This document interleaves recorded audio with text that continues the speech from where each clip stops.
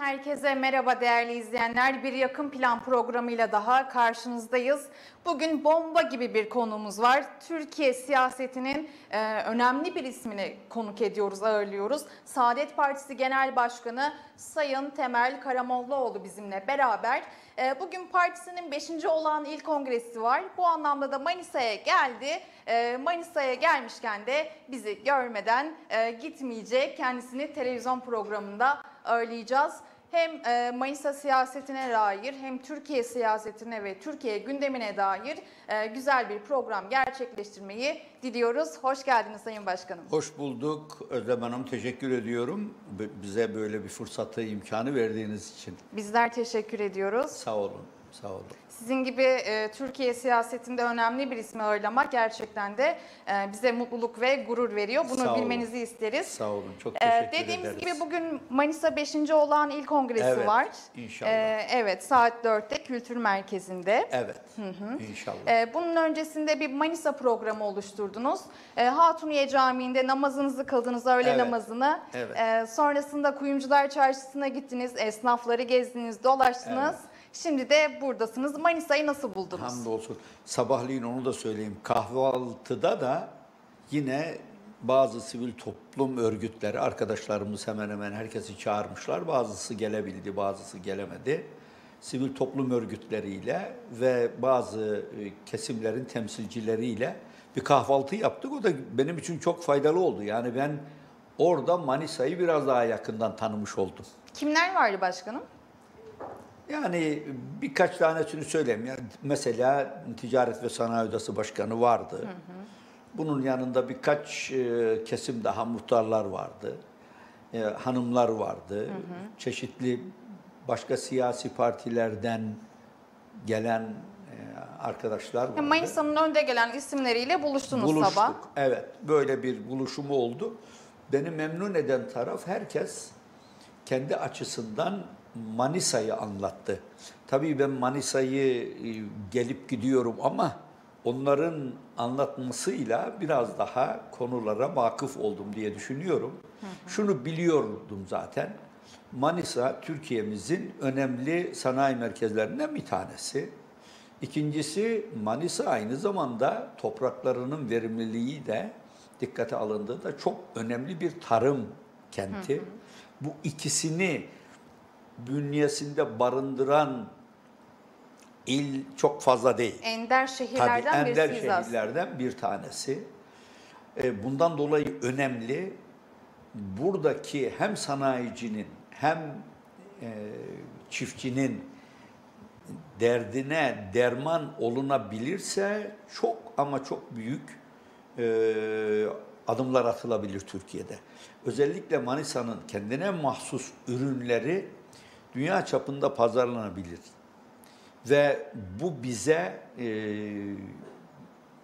bu sektörde bugünkü gelirimizin en az 3-4 misli gelir getirebilir. Katma değer sağlar. Tabii. Hem katma tarımın katma değer her zaman yüksektir. Ama tarım en stratejik üründür. Niye?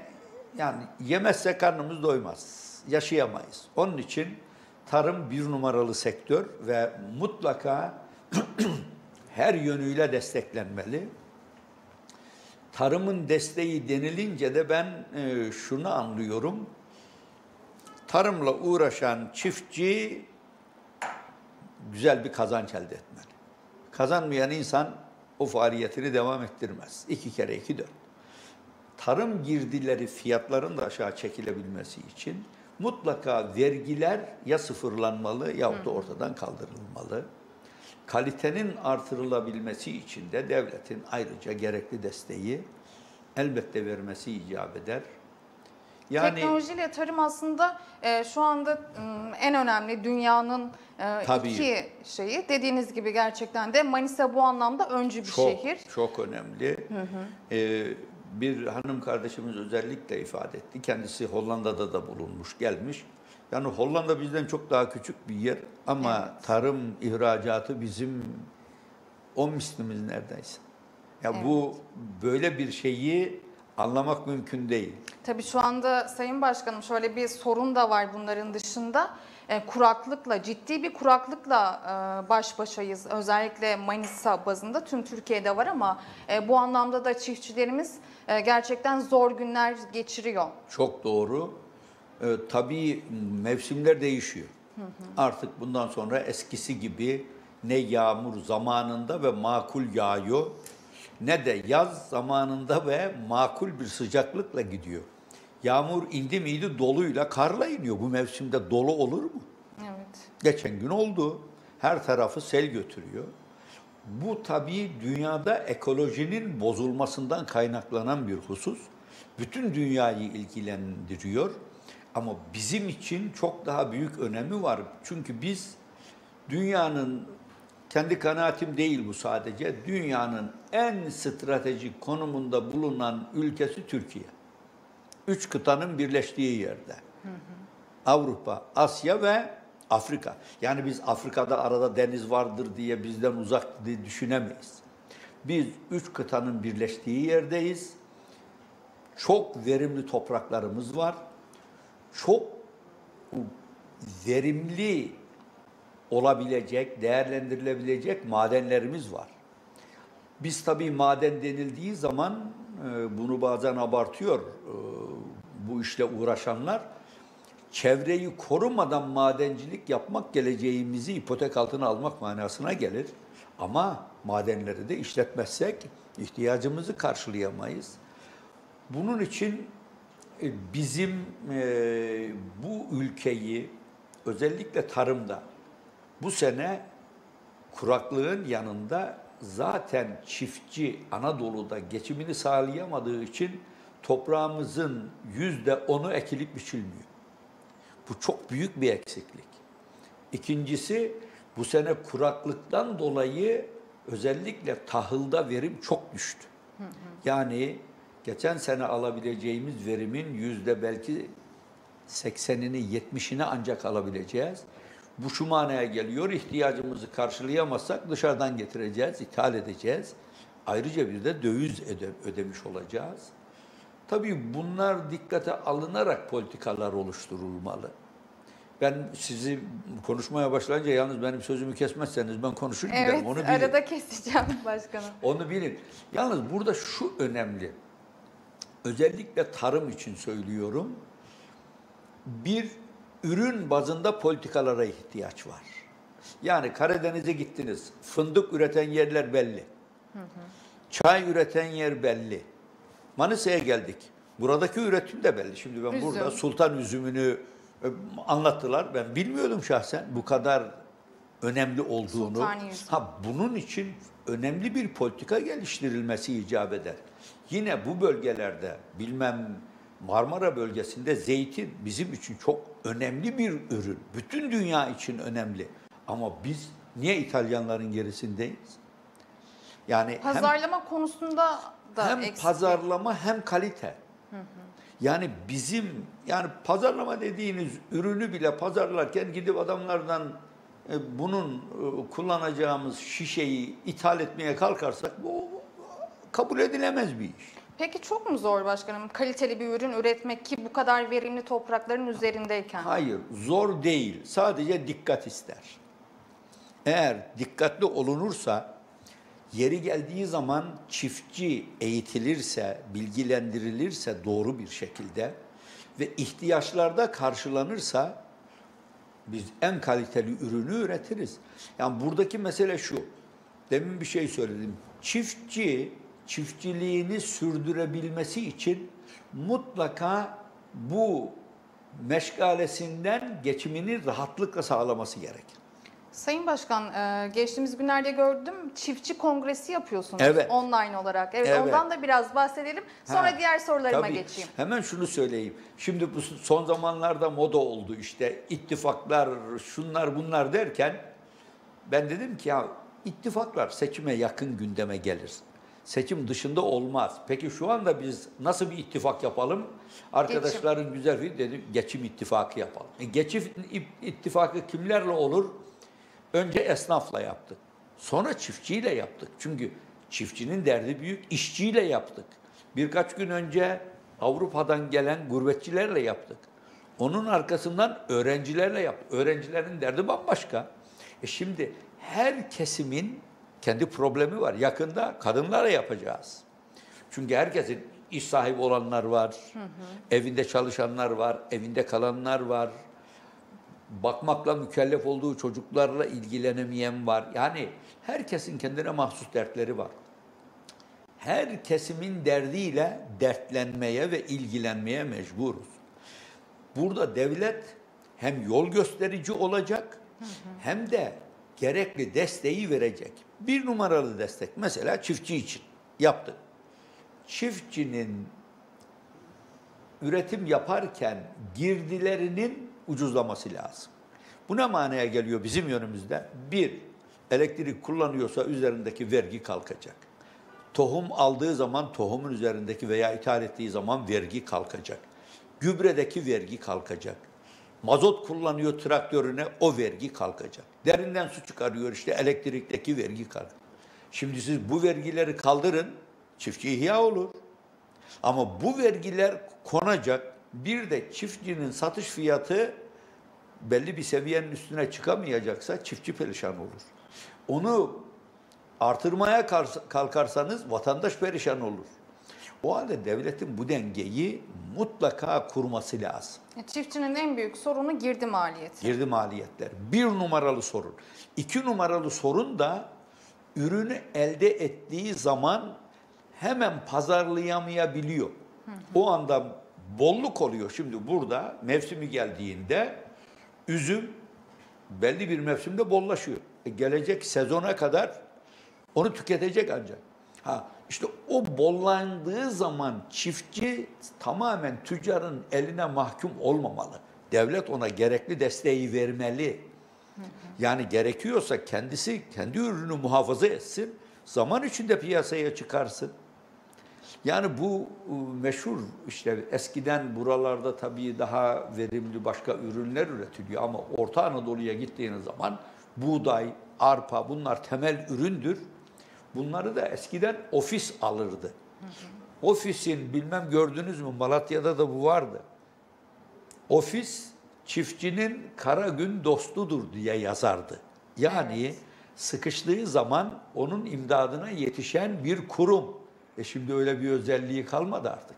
Doğru değil ki. Bir de kooperatif eksikliği de var sanırım çiftçilerin, Tabii üreticilerin en büyük aslında, sorunlarından birisi. aslında şimdi bu yönüyle sulama birlikleri ciddi olarak desteklenmeli kooperatif olarak.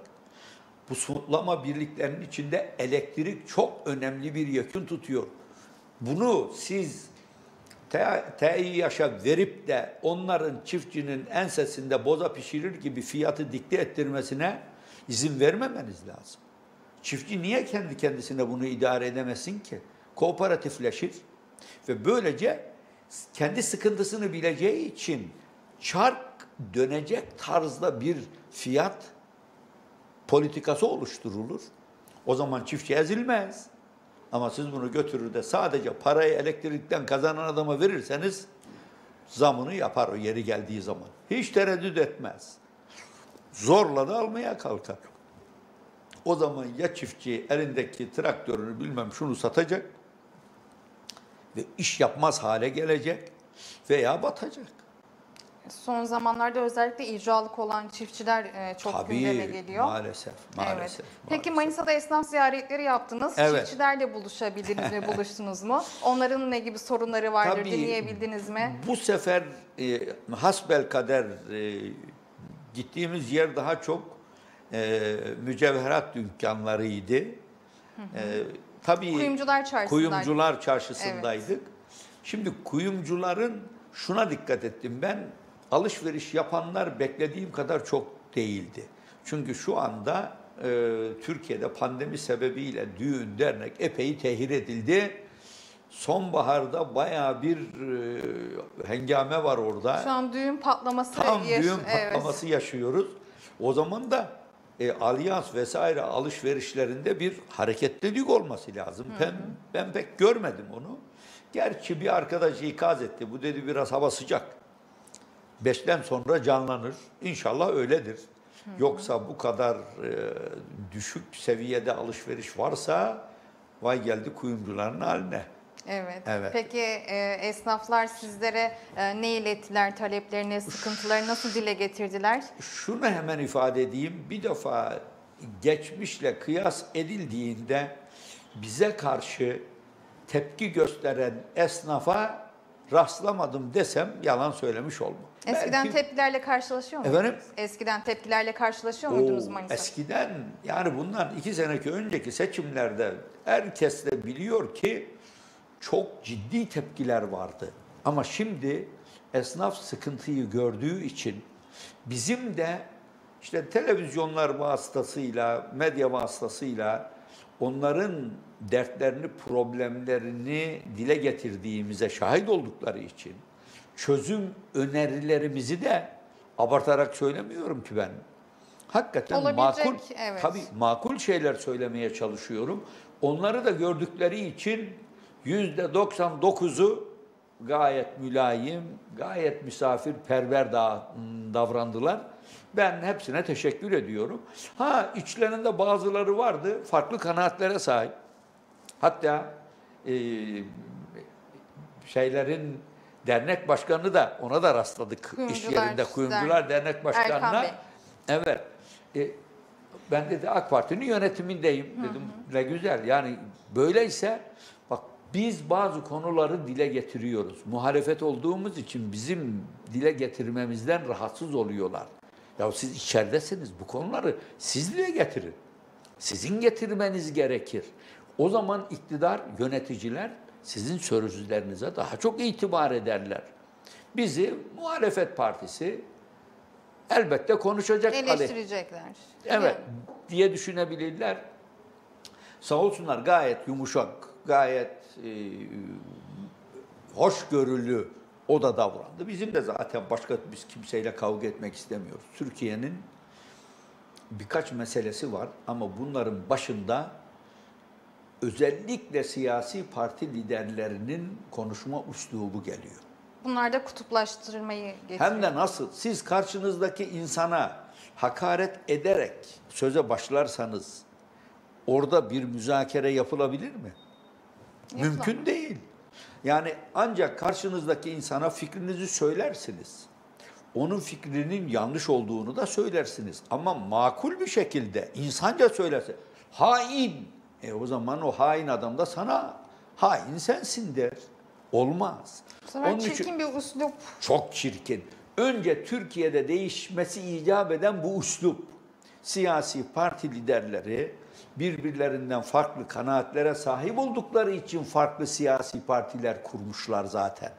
Ama toplum önünde kutuplaştırıcı değil, hainlikle, vatan hainlikle, terörist, terörizmle, teröre destek vermekle suçlayacağına neyi yanlış yaptığını söyle. Yeter. Onun için ben bu noktayı bir numaralı mesele diye görüyorum. Çünkü konuşamazsak anlaşamayız. Konuşamazsak çözüm üretemeyiz. Konuşamazsak dostluklar kurulamaz. Arkadaşlıklar kurulamaz. İlle de birbirimizle farklı kanaatlere sahibiz diye birbirimizi hainlikle itham etmemiz gerekmez. Bakın ben öyle bir aileden geliyorum ki benim dayım emniyet müdürüydü. Ama benim dayım daha sonradan kendisi Sivaslı benim dayım diyorum. Bursa Cumhuriyet Halk Partisi il başkanı oldu ve oradan senatör seçildi geldi meclise. Ben de Milli Selamet Partisi'nden Sivas milletvekili seçildim. Ben de geldim. Aynı komisyonda karşı karşıya geldik. Dayınız ve siz. Dayımı kavga etmedik ki. Ben onun söylediklerini doğru bulmadım. O da benim söyledik. Benim söylediklerimi doğru bulmadı diyemem. Ya yeğenim sen bilmiyorsun, sen böyle güzel şeyler söylüyorsun ama öbürleri böyle düşünmüyor. Farklı kanaatleri var dedi. Ama biz da dayı yiyen siyasette, farklı kesimlerde faaliyet göstererek birbirimizi kırmadan hayatiyetimizi devam ettirdik. Onun için bu üslup çok önemli. Yani Siz de gerçekten takip ettiğimiz kadarıyla buna aşırı önem veriyorsunuz. Çok. Karşı tarafı eleştirirken bile sadece eleştirmekle de kalmıyorsunuz yalnız bunu da söyleyeyim. İyi bir şey varsa sizin açınızdan desteklediğiniz bir Elbette. şey kamera El- karşısına çıkıp bunu rahat Evet. rahat söylüyorsunuz. Tabii yani bu bizim için olmazsa olmaz. Onun için ben Türkiye'deki bir numaralı meselenin bu husus olduğuna, uslup olduğuna inanıyorum. Peki nasıl düzelecek bu üslup? Valla bu doğrudan doğru. Siz parti başkanlarını eğitemezsiniz. Parti başkanları kendileri bunun farkına varıp düzeltecekler. Başka türlü olmaz. Onlar gidip yerlerine yenisi gelecek. En azından şuna inanıyorum. Yenileri geldiği zaman üslup daha da düzgün olur diye. Çünkü Türkiye bu kadar kutuplaşmamıştı hiç. Bu kadar aşırı ithamlar ve iftiralara biz şahit olmadık. Bu ama bunun arkasından ne gelir derseniz işte bunun arkasından da fikir ve inanç hürriyeti gelir. Her birimiz farklı inanca sahip olabiliriz. İnanca diyorum bakın fikir değil sadece. Birimiz Müslüman, öbürü de Hristiyan olabilir. Falanca da Yahudidir. Ama biz birimizin ille de hasmı ve düşmanı olma mecburiyetinde değiliz ki Osmanlı zamanında Hristiyanlar da vardı, Yahudiler de vardı, Türkler de Müslümanlar da vardı. Herkes dostluk içinde yaşadılar.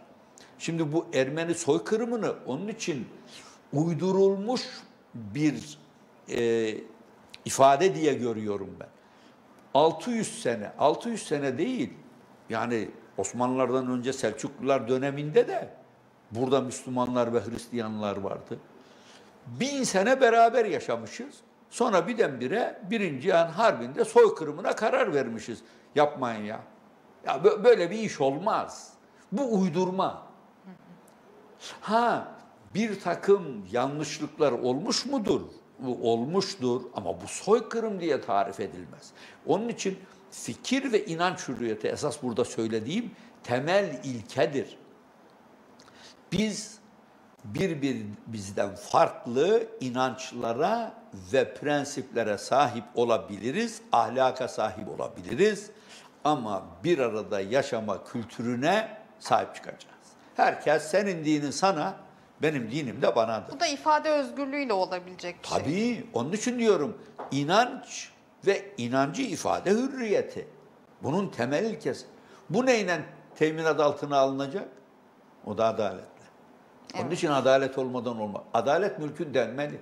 Adaleti, devleti yönetenler ben adalete yön vereceğim derse orada adalet yok demektir. Peki şu anda Türkiye'nin durumunu nasıl öze- özetlersiniz bu e, adalet, hürriyet, ifade Maalesef, özgürlüğü yani kapsamında? Şu anda maalesef ben burada e, ittifakın, Cumhur İttifakı'nın e, bu kuralları hiçe saydığı kanaatindeyim. Bunlara itibar etmiyorlar. Bir üslup bozukluğu zaten siz de şahitsiniz, herkes şahit. Bunu herkes görüyor. Ha muhalefette de bazen çok aşırı tenkitler olabilir. Kimseyi tasvip etmem. İki, fikir ve düşünce hürriyeti. Herkes kendi fikrini ve düşüncesini ifade etme hakkına sahiptir. Taban tabana zıt olsa bile üçüncüsü esas temel ilke adalettir. Adalet mülkün temelidir denilmiş. Hatta devletin dini adalettir diyenler var. Biz buna baktığımız zaman e, Türkiye'de adaletin maalesef müdahalelere maruz kaldığına şahit oluyoruz. Şimdi paketler getiriliyor. Anayasa, seçim kanunu, bilmem terörle mücadele, kanunlarla adalet tesis, şöyle diyelim, adaleti tesis etmek için, yerleştirmek için kanunların düzgün yapılması gerekir ama yetmez. Bu bir tavırdır, üsluptur, zihniyettir. Zihniyetler değişmeden siz kanunları değiştirseniz bile adalet hakim olmaz. Yani geçen gün Allah razı olsun Anayasa Mahkemesi Başkanı bu konuyu çok güzel dile getirdi. Hatta Adalet Bakanı da. Adalet Bakanı'nın söylemlerine bakın. Söyledikleri doğru. Ama uygulamaya geldiğiniz zaman siz onunla karşılaşmıyorsunuz ki. Uygulamada bambaşka Söylemler ve uygulamalar farklı. uymuyor. Uymadığı zaman orada adalet olmaz. Onun için bizim bir numaralı meselemiz yani bütün bunlar üslubumuza riayet etmek, fikir düşünce hürriyeti, adalet, zihniyet değişikliğini gerektiriyor. Bu kafayı değiştireceğiz. Peki nasıl mümkün olacak bu kafayı değiştirmek şu şartlarda günümüzün Türkiye'sinde? Şimdi e, ümidi kestim demek biraz aşırı gitmek olabilir. Ben şu anda siyasi partilerle sadece bu işin düzeleceği kanaatinde değilim. Siyasi partileri iktidara taşıyacak olan halk. Halk, millet kendisi karar verecek ki bu değişiklikler olsun. Buna uymayanı kusura bakma arkadaş ben seni iktidara getirmem diyecek. Millet karar verecek. Bazen Allah razı olsun siz de iltifat ediyorsunuz, giriyoruz. Esnafın büyük bir kısmı ya Allah razı olsun teşekkür ederiz. Televizyonlarda dinliyoruz, hoşumuza gidiyor. Peki ne yapacaksın yarın seçime gittiğin zaman diyorum ben Oy onu verecek misiniz? Ha, iş, iş mesele, iş geliyor oraya dayanıyor. Eğer insanlar, vatandaşımız bu hususlara önem verenleri destekleriz derse düzelir. Herkes kendisine çeki düzen verme mecburiyetini hisseder. Ama vatandaş benim olsun, çamurdan olsun, benim partim, benim bilmem adamım sadece buraya takıldığı zaman meseleleri düzeltmek mümkün olmaz ki. Onun için biz tekraren söylüyorum. Bugün ailelerin içinde farklı kanaatleri olan insanlar var mı? Var.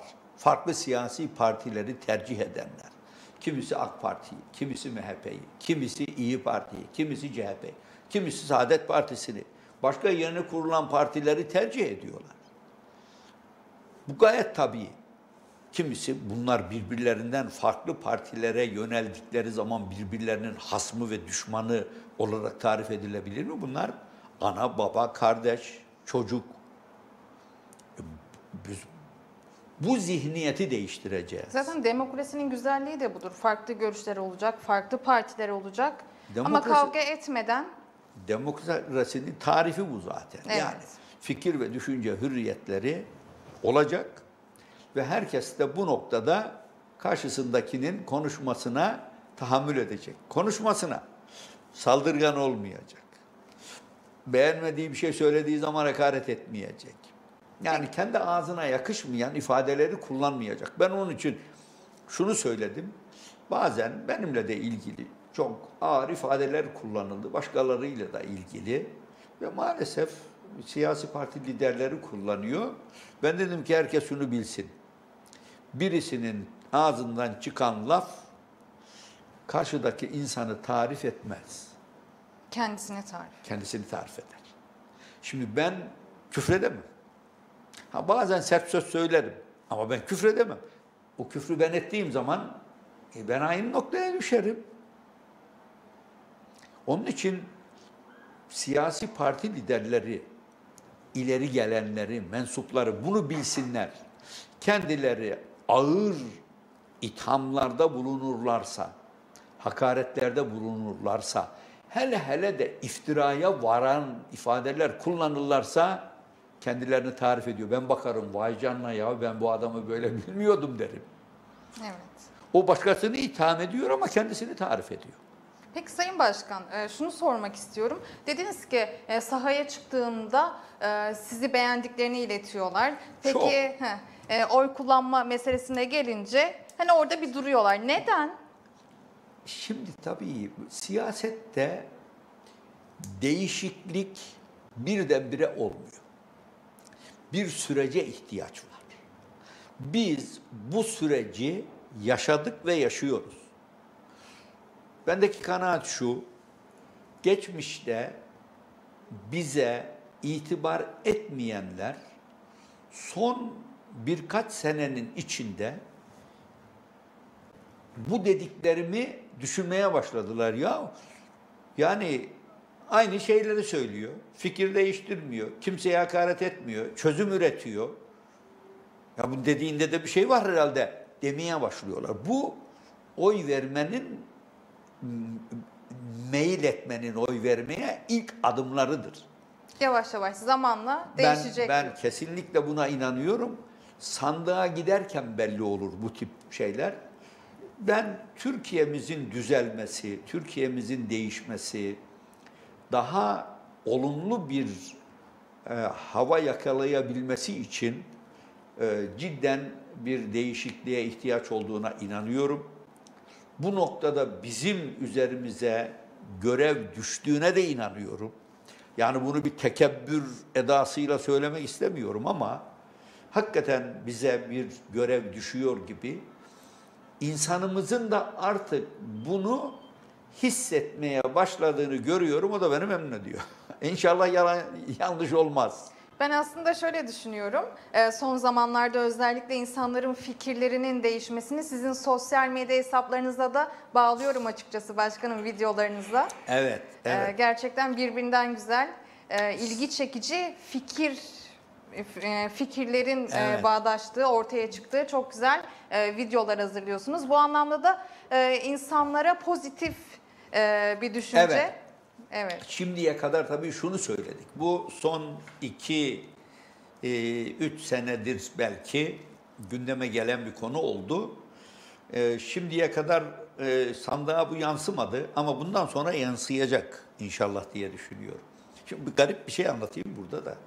Belki hatırlarsınız e, İstanbul'un işte köprülerini satan bir e, zat vardı.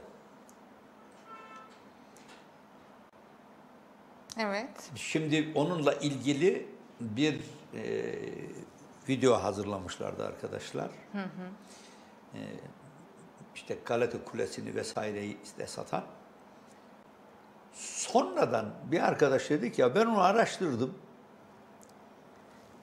Senin dayın dedi bunu emniyet müdürüyken Bursa'da ilk defa o yakalamış dedi.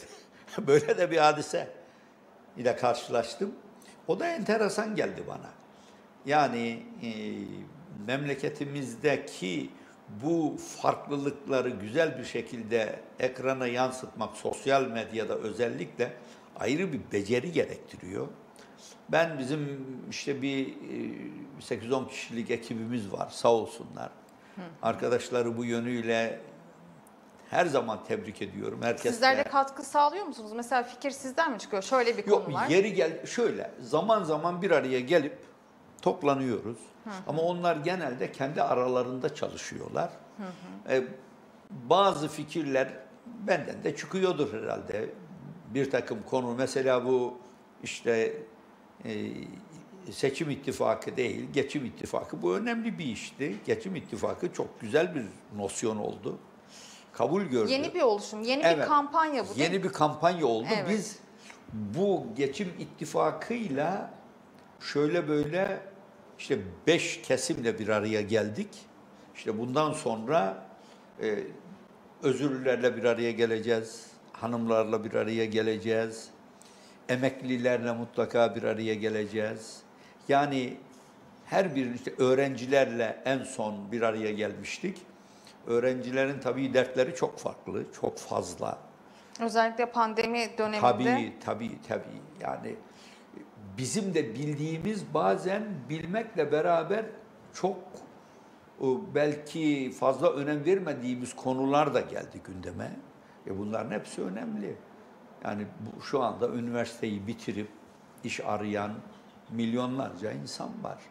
Çalıştığı halde geçinemeyen, Peki bu kampanyaya e, kimler katılıyor? Mesela öğrenciler, çiftçiler, e, işçiler var içerisinde. Evet. E, dediğiniz gibi yurt dışından, e, yurt dışındaki Gelenler. evet vatandaşlar var. Hani Saadet Partili olup da mı e, bu Yo, yo, yo, kampanyaya yo. katılıyorlar? Biz bu tam tersi. Biz mümkün olduğu kadar Saadet Partililer yani Saadet Partililer elbette katılacak. Ama Saadet Partisi'nin dışındaki kesimin katılmasını bunun için her ilde bu kampanyayla ilgili bir kampanya yapıyoruz önce. Katılsınlar diye.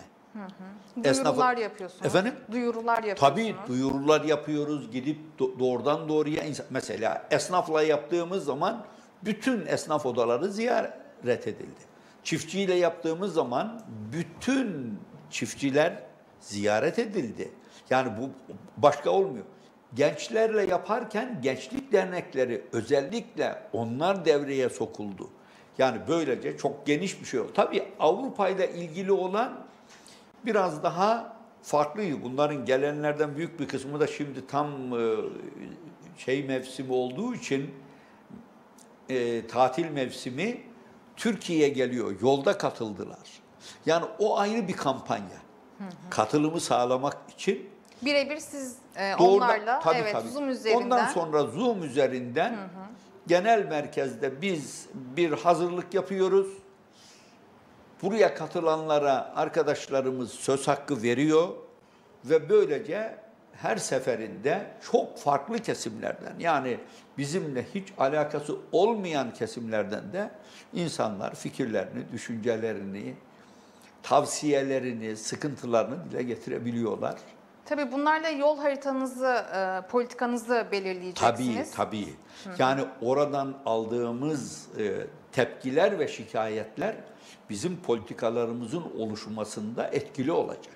Şu anda biz her kesimle ilgili belli politikaları oluştuk. Bizim ya 22 tane politika kurulumuz var.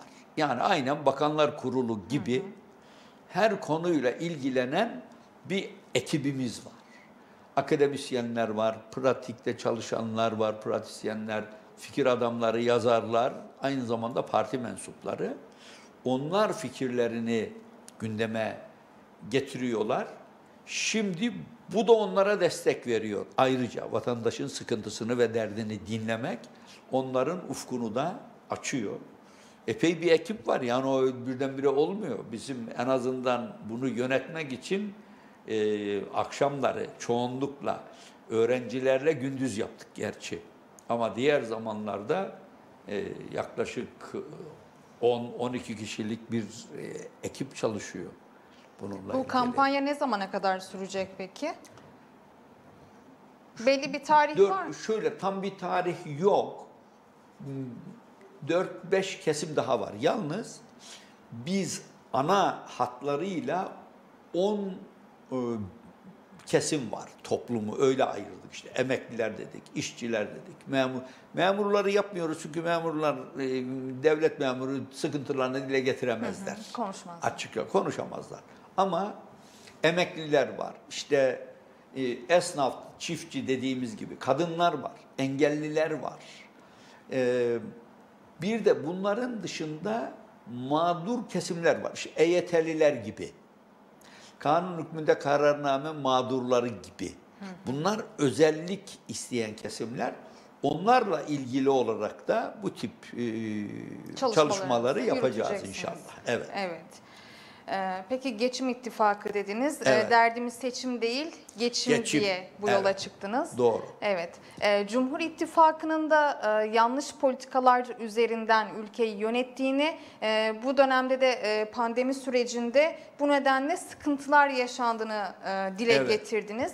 Millet İttifakı'yla e, yakınlığınız söz konusu. Şöyle biz ben parti genel başkanlarıyla görüştüm. E, yani son birkaç ay içinde tekrar ben de ziyaret edeceğim kendilerini.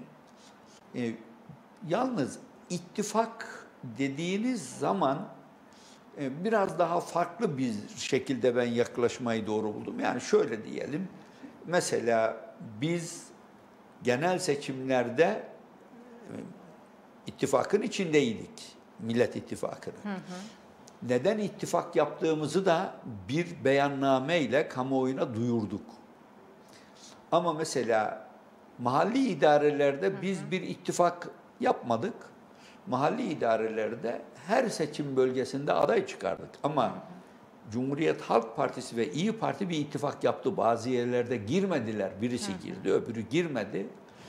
Onun için biz mahalli idarelerde olmadık. Ama seçime yakın nasıl olur? Yani o zaman da oturup mutlaka partiler konuşacaklar.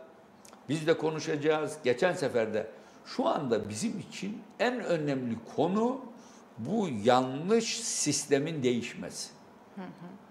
Bu tabii bizi bir yöne doğru iteliyor. Görüyoruz biz. Çünkü bu sistem değişmeden Türkiye normalleşemez.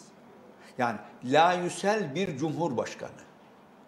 Şimdi yani siz Sayın Tayyip Erdoğan'ı tenkit etmeye kalktınız. Hangi sıfatla tenkit ediyorsunuz? AK Parti Genel Başkanı olarak. Tayyip Bey de diyor ki ben Cumhurbaşkanı aynı zamanda. Bu benim Cumhurbaşkanlığıma da hakaret sayılır. Nasıl çıkacağız işin içinde? Ha, bu, bu mantık yanlış. Böyle bir şey olmaz. Hem parti başkanı hem cumhurbaşkanı. İkisini birleştirdiğiniz zaman tenkit hürriyetini bile bu mantıkla ortadan kaldırıyorsunuz. Onun için mutlaka bu sistemin değişmesine ve baştan bazı Parlamenter sistem. Parlament biz şunu söylemiştik ama şu anda parlamenter sisteme ilk önde geçmek lazım. Biz Cumhurbaşkanlığı sistemine karşı değiliz. Ama Cumhurbaşkanlığı denetlenebilir bir cumhurbaşkanı olmalı. Denetlenebilir. Başta meclis tarafından denetlenebilir. Hesaba çekilebilir. Beni hesaba çeki- çekemezsiniz diye mi bir cumhurbaşkanı olursa olabilir. Şu anda bu biraz zor gözüküyor. Çünkü dünyada iki tane başkanlık sistemi var. Çin'i kabul etmiyoruz. Komünist bir anlayış, farklı bir anlayış. Ama birisi Fransa'da, birisi de Amerika'da. Cumhurbaşkanları layüsel değil ki ikisinde de. Onun için bizim şimdi parlamenter sisteme geçmemiz en mantıklı yaklaşım tarzı ve parlamenter sisteme geçerken bu bir de geçiş süreci olacak demektir. Bu geçiş sürecinin de belki planlanması gerekir. Nasıl bir tablo önümüze çıkacak göreceğiz. Evet. Aslında bu konuya gelişimin sebebi e, Oğuzhan Asil Türk'ün açıklamasıydı Sayın Evet. Başkanım. E, Oğuzhan Asil Türk sizin partinizin Yüksek İstişare Kurulu, Kurulu, Başkanı. E, Millet İttifakı'na karşı oluşuyla e, biliniyor. Öyle bir açıklama yaptı. Yanlış. yo, yo, yo, o yanlış.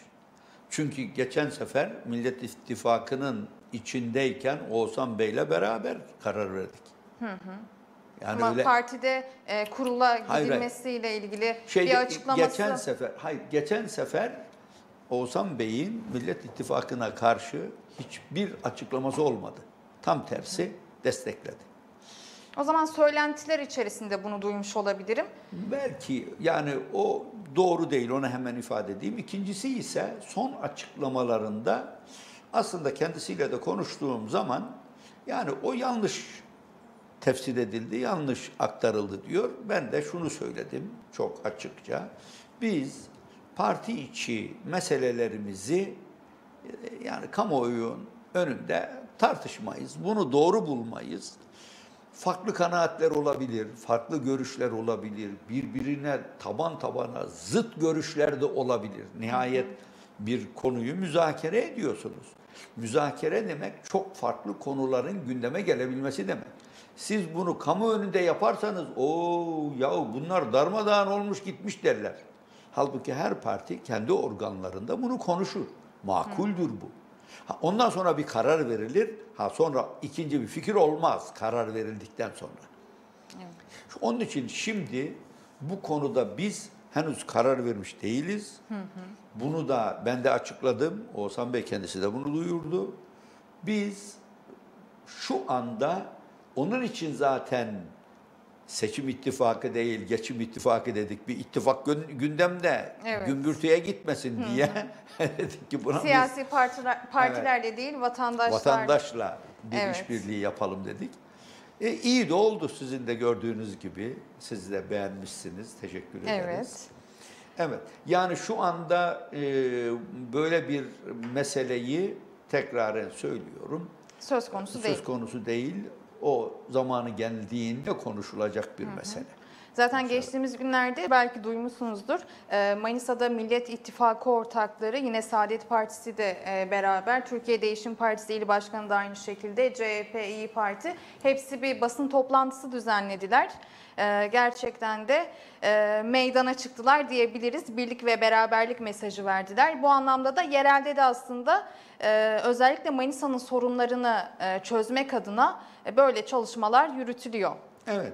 Yani bu tabii çalışmalarda biz bunu geçmişte de gündeme getirdik.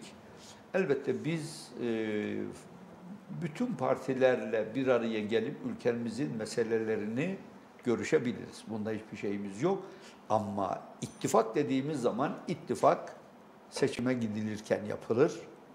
Ona da genel merkez karar verir. Peki sizce erken seçim olacak mı? Türkiye'nin gündeminde e, en çok olan konulardan biri de bu. Evet. Erken seçim isteyen siyasi partiler de var. Tabii tabii. Siz istiyor musunuz? Evet yani erken seçim olmasında fayda var şu anda bizim kanaatimiz. Çünkü Türkiye birçok badireyle baş başa.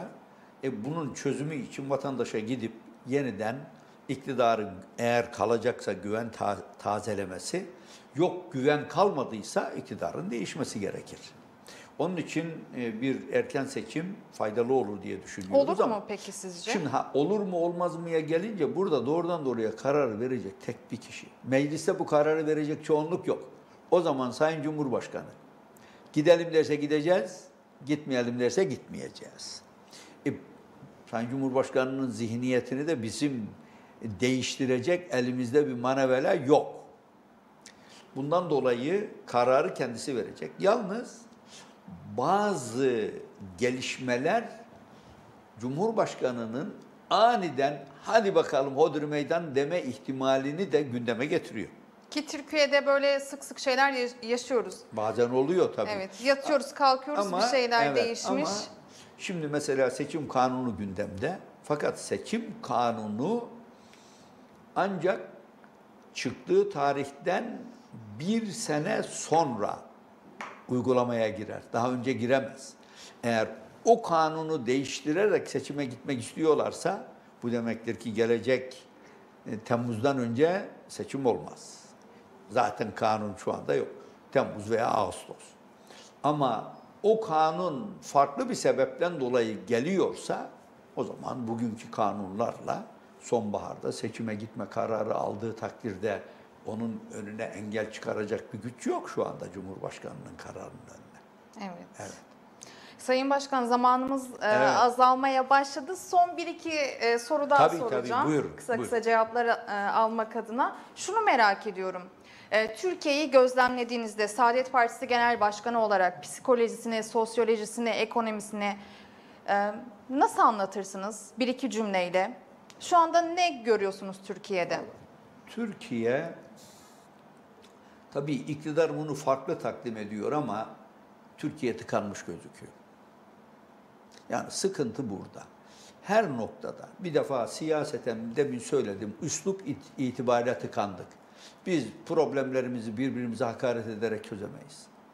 Konuşmak mecburiyetindeyiz. Bunun için Türkiye'nin huzura ihtiyacı var. Bir numaralı mesele. Ben yalnız Sayın Cumhurbaşkanı'nın son zamanlarda gündeme getirdiği konulara bakarak yavaş yavaş sanki bazı değişiklikleri de kendisi yapmak istiyor gibi bir kanaat doğdu. Şimdi adalet vurgusu çok güçlü geliyor son zamanlarda. Onun için e, nasıl bir uslup var onu bilmem. Ama Türkiye ekonomik yönden özellikle tamamen tıkandı. Ben e, ne AK Parti'nin ne Cumhur İttifakı'nın bu problemleri çözme ihtimalini görmüyorum. Çünkü bu hale onların yanlış politikalarıyla geldik. Peki kim çözer bunu? Biz çözeriz. Öyle dediğiniz zaman çok ben açık, net bunu ifade ediyorum. Çünkü buradaki mesele şu. Türkiye üretemiyor. Yeterince üretemiyor. Tabii şimdi böyle söyleyince başkaları da amma abarttın ya diyebilirler. Yok tabii üretim var yok diyemeyiz ama yeterince üretemiyor. İşsizlik bunun için artıyor. Geçim sıkıntısı artıyor. Üretiyoruz ama ne çiftçi, ne esnaf, ne işçi, ne emekli, ne memur geçineceği kadar bir ücret alamıyor. Geçinemeyeceği kadar ücret alamayınca sıkıntılar artıyor. Düzelir mi? Benim kanaatime göre tamamen ekonomik yaklaşımla ilgili bir konu. Sizin benimsediğiniz prensiplerle hala yani şimdi ben bir, bir şey söyleyeceğim gene bu mugalata konusu gibi e, algılanacak belki ama hala Kanal İstanbul'da diretmenin bir faydası yok. Çünkü Kanal İstanbul bize hemen bir getiri sağlamayacak. Sağlasa bile ki ben inanmıyorum ama hemen sağlamayacak. Biz şimdi hala belli yerlerde hizmet yatırımlarına ağırlık veriyoruz. Hizmet yatırımları üretme yat, üretken yatırım değil. Onun için doğrudan doğruya fabrika kuracak, tesis kuracak, tarımda üretimi artıracak, kaliteyi yükseltecek, ihracatta bize nefes aldıracak yatırımlara ihtiyaç var. Veya it- ithalatı kısacak. E Biz şimdi yani Merkez Bankası'nın e, hazinesinin dibi delindi. Birdenbire eksideyiz. Paramız yok. Parayı bıraktık. Olan para bizim paramız değil. Bugünkü politikalarla devam ederse nasıl düzelecek bu? Mümkün değil ki. Hala yolsuzluk, israf, rüşvet devam ediyor. Olmaz. Hala adam kayırma devam ediyor. İşi siz ehline vermez ve ona da güvenmezseniz problem çözemezsiniz. Doktora gideceksiniz, en ehliyetlisini ararsınız. Gücünüz varsa Amerika'ya bile gidersiniz. Ama ya bu adam benimle aynı fikirde değil diye ondan daha ehliyetsiz birisine hastanızı götürmezsiniz. Onun için işi biz demin saydığım hususların başında bu dördüncü maddeydi.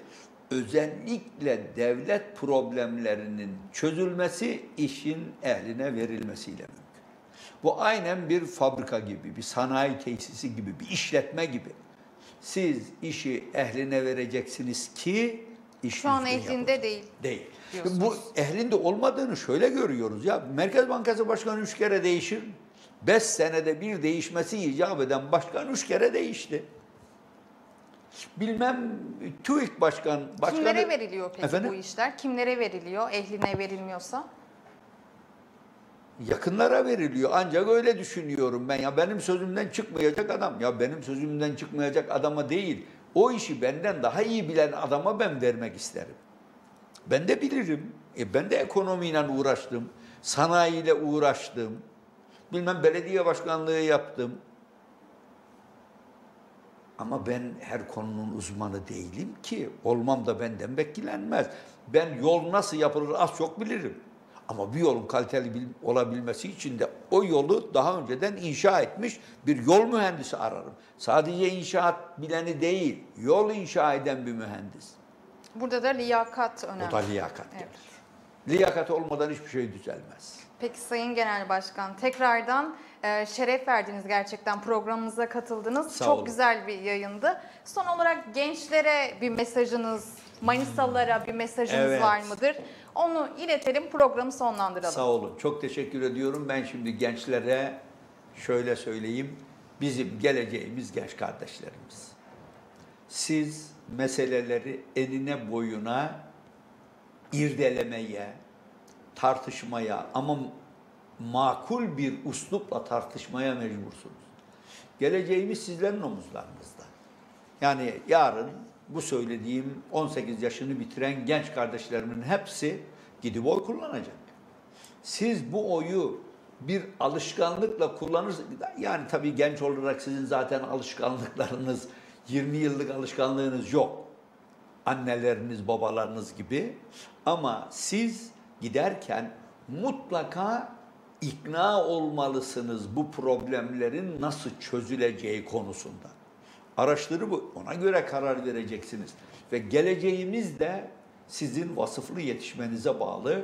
Bu da bizim eğitim sistemimizin düzelmesine bağlı. Biliyorum bir- birçok genç kardeşimiz diyecek ki okuduk, bitirdik, iş bulamıyoruz. E tabii bu eğer iş ehline verilmezse sıkıntı doğar. İşte bizim yüksek tahsilli gençlerimizle, lisedeki gençler de katıldı. Bizim gençlerle yaptığımız e, konferansta, kongrede bunlar hep dile getirildi. Şuna inanıyorum ben. İş ehline verilir. Kaynaklarımız uygun bir şekilde kullanılırsa Türkiye bugün içine sürüklendiği bu badireden 3-5 sene içinde çıkmaya başlar. Çıkar demiyorum. Çıkmaya başlar. İşsizliğimiz yarının altına iner. Bundan emin olun. Geçim sıkıntımızın büyük bir kısmı ortadan kalkar. Çiftçimiz ayağa kalkar. Esnafımız ayağa kalkar. Emeklimiz biraz daha rahat bir hayata kavuşur. Ama bu doğru politikaların uygulanmaya konulmasıyla sağlanabilir. Başka türlü de mümkün değil. Allah yardımcınız olsun. Ben size başarılı bir e, tahsil ve başarılı bir meslek hayatı temenni ederim. Geleceğimiz sizlersiniz. Bunu da hiçbir zaman unutmayın. Beni dinlediğiniz için de hepinize teşekkür ediyorum. Sağ olun. Bu imkanı verdiği için de ben Özlem Hanım'a da elbette ETV'ye de teşekkürlerimi arz ediyorum. Sağ olun, var olun. Bizler de çok teşekkür ediyoruz Sayın Başkanım. Bugün tabii hatırlatmasını da yapalım. Birazdan hatta e, saatimiz kaç şu anda? E, genel kurulunuz var. E, İl- evet, il il, il kongremiz. kongresi var pardon. Evet. Beşinci olan il kongresi var. Evet. Saat 4'teydi. Buradan çıkınca hemen Oraya oraya, doğru. gideceksiniz. E, Zeki, Zekai Yılmaz tek aday. Tekrar, evet. Evet. Evet, E, şimdiden hayırlı uğurlu olsun Sağ diyoruz. olun. Ben de çok teşekkür ediyorum. Ayağınıza Tekrar- sağlık tekrardan. tekrar böyle bir bir dahaki imkan. geldiğinizde yine konuk etmek isteriz. Şu an zaman kısıtlıydı. Evet. Aslında konuşacağımız çok, Çok daha şey. kapsamlı İnşallah, konular var. inşallah. Her zaman bekleriz. İnşallah ben de memnun olurum. İnşallah daha olumlu bir ortamda geliriz buraya. Pandeminin de geçtiği değil mi Pandeminin iyice? de sıkıntıların da Evet. geçtiği daha iyi bir ortamda konuşma imkanımız olur. Sağ olun, var olun. Siz de çok sağ olun. Teşekkürler. Değerli izleyenler, e, yakın plan programında bugün Türkiye'nin önemli siyasi liderlerinden Saadet Partisi Genel Başkanı Sayın Temel e, Karamollaoğlu'nu ağırladık. Bir dahaki yakın planda görüşmek dileğiyle, hoşçakalın.